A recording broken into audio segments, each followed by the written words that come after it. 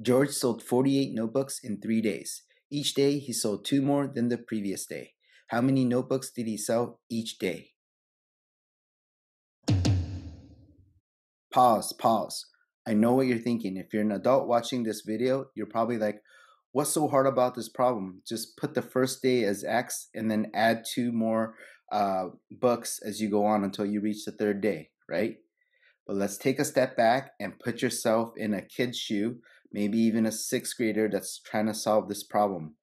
It's difficult because most uh, sixth graders or 90% of students trying to solve a problem like this are used to a linear problem. What I mean by a linear problem is that they have a starting number, starting number.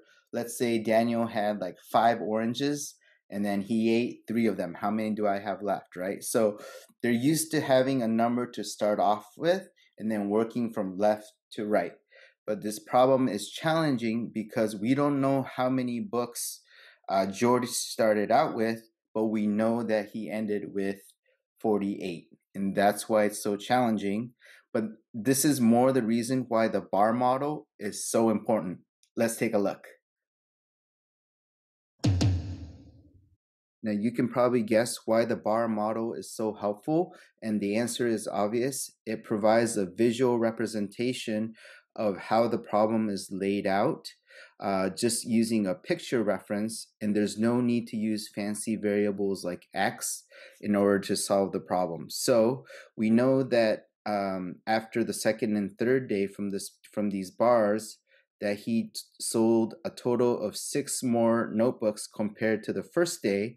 And if we take these um, six notebooks away, we notice that um, we have an equal uh, number of notebooks for the three days. So we can take the 48 and subtract the six from it, which would give us 42.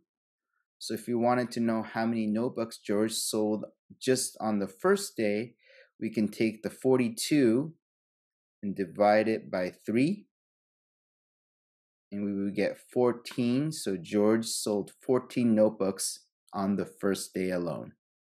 And then on the second day he sold two more so that's going to be two more than 14 so 16 and then on the third day he sold uh, four more than the first day so we can just do 14 plus 4 and say 18 is our answer Hope this problem was helpful, guys. Now remember, you can use bar models and pictures for any types of word problems that require a lot of thinking. It's super helpful if you use a simple diagram. It just opens up the problem so much more and then your brain so much more clear. So give it a try next time.